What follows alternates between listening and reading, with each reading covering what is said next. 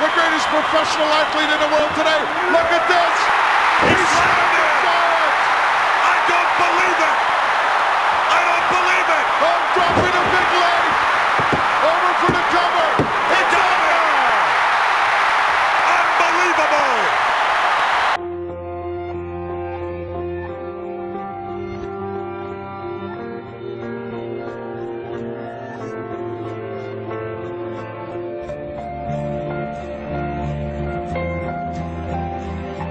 Thank you.